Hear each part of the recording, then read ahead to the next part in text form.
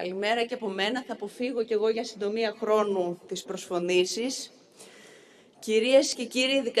δικαστές και εισαγγελείς, ευχαριστούμε για την πρόσκληση να απευθύνουμε χαιρετισμό στην Γενική σας Συνέλευση.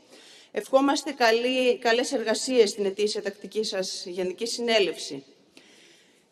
Είναι γνωστό ότι η συνέλευση αυτή πραγματοποιείται σε μια περίοδο όπου μαζί με εσάς το σύνολο του ελληνικού λαού βρίσκεται αντιμέτωπο με αλλεπάλληλα κύματα αντιλαϊκών μέτρων και σχεδίων που επηρεάζουν όλο το φάσμα της ζωής του. Με το νέο κρατικό προϋπολογισμό του 2023 που ψηφίζεται σήμερα και συζητείται αυτές τις μέρες στη Βουλή,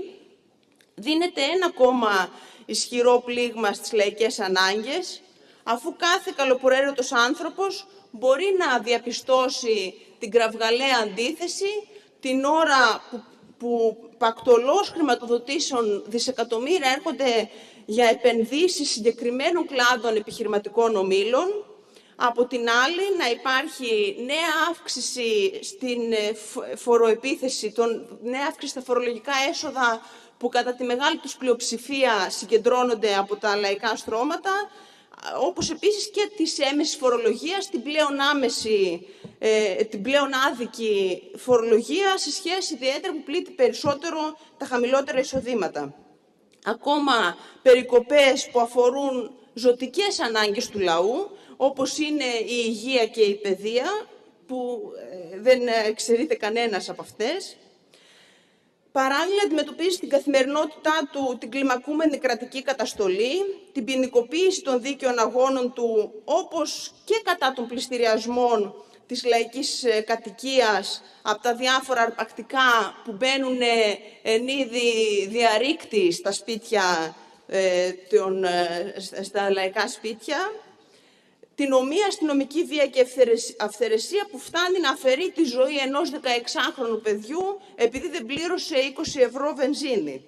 Το μαζικό προληπτικό ηλεκτρονικό φακέλωμα και τη συστηματική παρακολούθηση της ζωής του ε, σε, σε όλες τις πτυχές. Μάλιστα, με το νέο νομοσχέδιο για την ΕΕ που ψηφίστηκε λίγες μέρες πριν από την κυβέρνηση, αξιοποιώντας προκλητικά ένα σκάνδαλο, που, το σκάνδαλο των υποκλοπών, στο οποίο και η ίδια εμπλέκεται ε, και πραγματικά προβληματίζει, εισήγαγε ακόμα πιο αντιδραστικές ρυθμίσεις σε βάρος του λαού και των δικαιωμάτων του. Σφράγισε και νομοθετικά το διαχρονικό κρατικό δόγμα ουδής εξαιρείται των παρακολουθήσεων, θωράκισε με αυτό συνολικά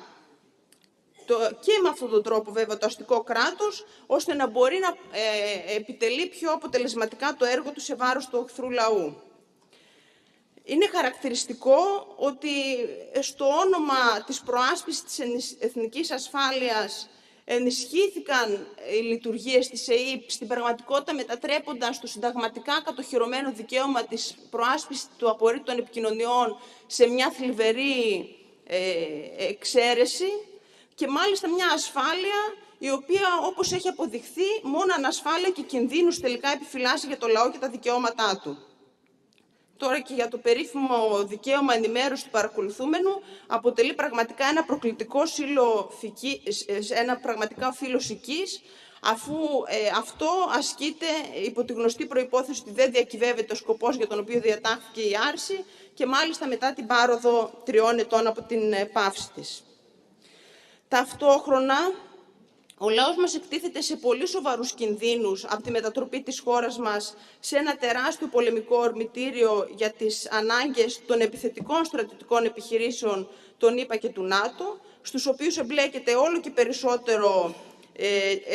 η χώρα μας με τις κυβερνητικές αποφάσεις. Την ίδια στιγμή που ο υπερελιστικός πόλεμος μεταξύ ΗΠΑ, ΝΑΤΟ από τη μια και Ρωσίας από την άλλη ε, που εξελίσσεται στην Ουκρανία κλιμακώνεται,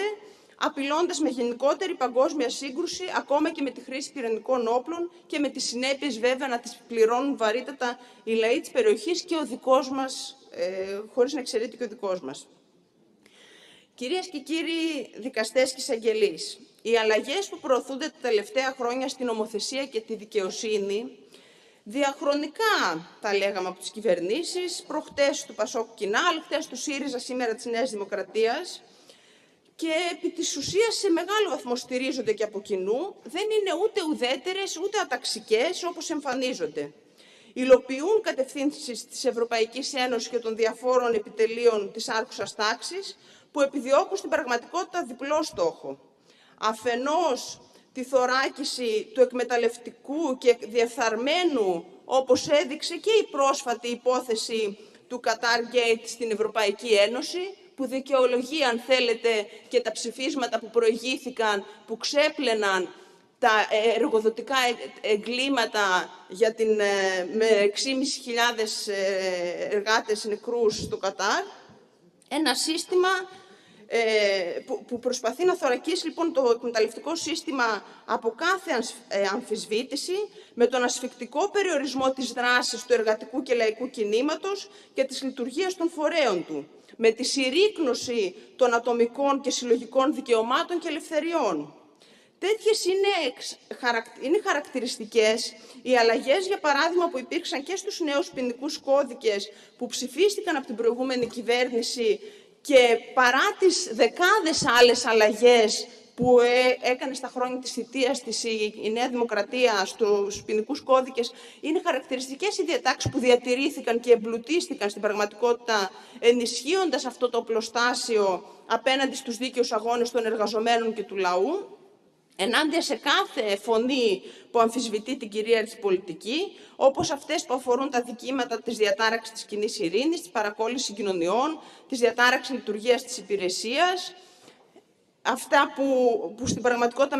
μετέτρεψαν και σε ιδιώνυμο αδίκημα της ε, κινητοποίησης κατά των πληστηριασμών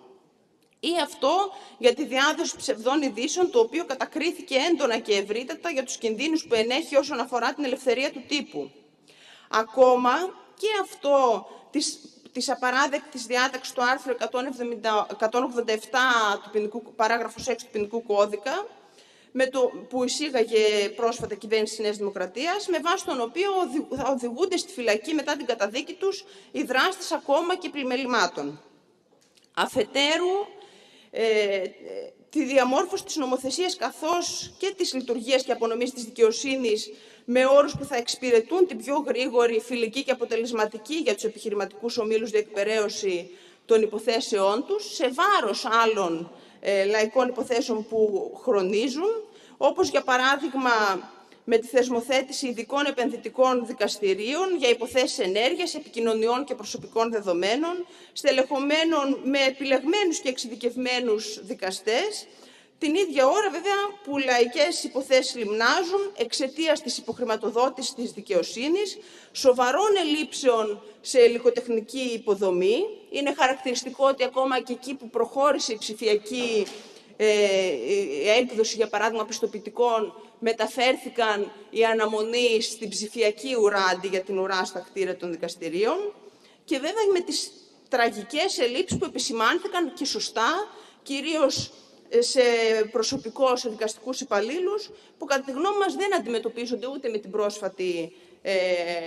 νομοθετική, με την Σχολή ε, Δικαστικών Υπαλλήλων, ε, χωρίς να υπάρξει άμεση προκήρυξη και διαγωνισμού για κάλυψη των τόσων, τόσων χιλιάδων κενών που υπάρχουν αυτή τη στιγμή. Την ίδια ώρα, βέβαια, είναι γνωστό και το πρόβλημα των δικηγόρων του θεσμού της νομικής βοήθειας, που πληρωμένουν απλήρωτοι για πάνω από τρία χρόνια, αντιμετωπίζουν το προκλητικό έμπεγμα από την πλευρά της κυβέρνησης και συμφωνώ και ότι αυτό βέβαια είναι ένα πρόβλημα που δεν αφορά μόνο τους δικηγόρους, αλλά πλήττει πρώτα και κύρια ε, τις, το πιο ευάλωτο τμήματα της κοινωνίας που έχουν ανάγκη από πρόσβαση στη δικαιοσύνη και βέβαια και δεν μπορεί οι συνέπειες που έχουν επιφέρει στην καθυστέρηση υποθέσεων λόγω της, της αποχής που έχουν προκηρύξει οι δικηγόροι, να φορτώνονται στις πλάτες των δικηγόρων και όχι στις κυβέρνησεις που δεν έχει επιλύσει μέχρι τώρα το πρόβλημα. Στον αντίποδα, η νομοθεσία για τους εργαζόμενους και τα λαϊκά στρώματα γίνεται όλο και πιο εχθρική και άδικη, όπως και η πρόσβασή τους στη δικαιοσύνη όλο και πιο δύσκολη και απρόσιτη εξαιτίας των συνεχών δικονομικών και οικονομικών εμποδίων που ορθώνονται μπροστά τους, όπως με τις διαδικασίες της διαμεσολάβησης, τις αστικές και εμπορικές υποθέσεις, τα υψηλά τέλη και παράβολα. Ειδικότερα με το γνωστό σχέδιο Πισαρίδη και το σχέδιο ανάκαμψης και ανθεκτικότητας που αφορούν και τη δικαιοσύνη, επιδιώκεται η αντιδραστική αναμόρφωσή της, ώστε να υπηρετεί ακόμα πιο πιστά τα συμφέροντα των επιχειρηματικών ομίλων και την ευθυγράμμισή της με την κυρίαρχη πολιτική.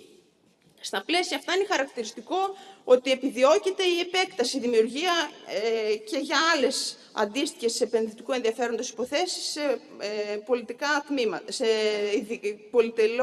πολυτελή τμήματα για αυτές τις ε, περιπτώσεις εταιρικής διακυβέρνησης, ανταγωνισμού κλπ προωθείται η λειτουργία της δικαιοσύνης με όρους που προσωμιάζουν σε ιδιωτικές εταιρείες μέσω της εισαγωγής μεθόδων management, της σύμπραξης των δικαστηρίων με επιχειρηματικά συμφέροντα, της συγχώνευσης κατάργησής τους. Ιδίως βέβαια επιδιώκεται η ισχυρότερη χειραγώγηση των δικαστικών λειτουργών, ανεξάρτητα από το βαθμό που αυτό επιτυγχάνεται βέβαια ή κατά πόσο, ή, ε, και κατά πόσο ευθυγραμμίζονται με αυτές τις προσπάθειες δικαστική λειτουργή, που δίνουν πραγματικά υπάρχουν, ε, προσπαθούν ε, να επιτελέσουν με το καθήκον τους με ανεξαρτησία. Στην υλοποίηση των αντιδραστικών αυτών κατευθύνσεων εντάσσονται και οι νόμοι για την Εθνική Σχολή Δικαστών, το νέο κώδικα οργανισμού δικαστηρίων, τη δικαστική αστυνομία, τους οποίους ως κόμμα καταψηφίσαμε συνολικά. Την προώθηση αυτών των αντιδραστικών κατευθύνσεων εξυπηρετούν και διάφορες πρωτοβουλίες, όπως για παράδειγμα η κίνηση για την επιτάχυνση της δικαιοσύνης, όπου πρωταγωνιστικό ρόλο διαδραματίζει ο Σύνδεσμος Ελληνικών Επιχειρη... Ε, ε, του ΟΣΕΒ, ε, επιδιώκοντας να μετατρέψουν τη δικαιοσύνη σε ακόμα πιο αφοσιωμένη θεραπενίδα των ισχυρών επιχειρηματικών συμφερόντων. Ακούσαμε με ενδιαφέρον και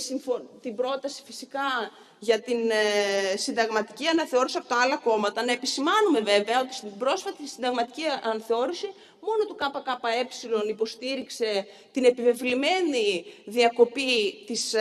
ε, να, του, του, διορισμού της ηγεσίας των ε, ανωτάτων δικαστηρίων από την ε, εκάστοτε κυβέρνηση και κανένα άλλο κόμμα του χαιρετίζουμε. Να, να δούμε κατά πόσο θα εφαρμοστεί σε επόμενες. Κυρίες και κύριοι δικαστές και εισαγγελείς, όπως γνωρίζετε, ως κόμμα έχουμε συγκεκριμένη άποψη για το ρόλο που θεσμικά καλείται να επιτελέσει δικαιοσύνη στο υπάρχον σύστημα για τη δικαίωση των συμφερόντων της άρχουσας τάξης. Ωστόσο, όπως έχουμε επανειλημμένα τονίσει, δεν ταυτίζουμε το θεσμό της δικαιοσύνης και το ρόλο του στο σημερινό σύστημα με τους δικαστές και τους εισαγγελείς, όλους εσάς δηλαδή που εργάζεστε στο χώρο αυτό και μάλιστα σε αντίξωες συνθήκες και αντιμετωπίζετε κι εσείς, όπως και όλος ο εργαζόμενος λαός, στον έναν ή στον άλλον βαθμό, τις συνέπειες της αντιλαϊκής πολιτικής, όπως είναι και σήμερα, για παράδειγμα, το ζήτημα της ακρίβειας. Γι' αυτό και όχι μόνο σήμερα, αλλά σταθερά, το γνωρίζετε, πιστεύουμε, υποστηρίζουμε κάθε δίκαιο θεσμικό και μισθολογικό αίτημά σας, όπως και ε, την ε, συμμόρφωση της κυβέρνησης στην απόφαση του μισθοδικίου για το ύψος των συντάξεών σας, γιατί ε, σεβασμός της αποφάσης των δικαστηρίων πρέπει να σημαίνει και αυτές που δεν συμφέρουν την κυβέρνηση όπως βέβαια και στο αίτημα για την επαναφορά του επιδόματος ειδικού σκοπού, το οποίο πρέπει να δίνεται και στους δικαστικούς υπαλλήλους, του 13ου και 14ου μισθού, που αποτελεί άλλωστε γενικότερο δίκαιο αίτημα όλων των δημοσίων υπαλλήλων και των συνταξιούχων. Κυρίες και κύριοι δικαστές, η πραγματικότητα που βιώνει ο ελληνικός λαός σήμερα επιβεβαιώνει, πιστεύουμε, την εκτίμηση του ΚΚΕ για τον ξεπερασμένο χαρακτήρα του καπιταλιστικού δρόμου ανάπτυξης Σήμερα η πρόοδος της τεχνολογίας, η τεράστια επιστημονική γνώση, η μεγάλη αύξηση της παραγωγικότητας της εργασίας δεν μπορεί να, να δεν αξιοποιούνται για να βελτιωθεί η θέση των εργαζομένων, για να μειωθεί ο εργάσιμος χρόνος, για να προστατευτεί αποτελεσματικά ο λαός από την πανδημία και τα φυσικά φαινόμενα. Χρησιμοποιούνται μόνο για να αυξηθούν τα κέρδη του μεγάλου κεφαλαίου και τελικά να δυσχεραίνεται, να εντατικοποιείται ε, και οι συνθήκες εργασίας και συνολικά να δυσχεραίνεται η ζωή του εργαζόμενου λαού. Το ΚΚΕ προτείνει ως διέξοδο τον αγώνα για ένα ριζικά διαφορετικό δρόμο ανάπτυξης της χώρας μας, με αποδέσμευση από όλες τις αντιλαϊκές διακρατικές ενώσεις, όπου ο λαός θα είναι κυρίαρχος του πλούτου που παράγει, θα μπορεί σχεδιασμένα να οργανώνει και να αξιοποιεί τις τεράστιες παραγωγικές δυνατότητες που έχει η χώρα μας, την πρόοδο της επιστήμης και της τεχνολογίας με κριτήριο τις δικές του σύγχρονες ανάγκες. Οι δικαστές και εισαγγελείς πιστεύουμε δεν έχετε κανένα λόγο να εναντιωθείτε σε μια τέτοια προοπτική. Αντίθετα, έχετε όλο και περισσότερους να συντάσσετε, να συντάσσετε μια μαζί της. Με αυτές τις σκέψεις ευχόμαστε και πάλι καλή επιτυχία στις εργασίες της συνέλευσής σας, να έχουμε μια καλύτερη χρονιά και καλές γιορτές και ε, την επιθυμητή ξεκούραση σε όλους. Ευχαριστώ.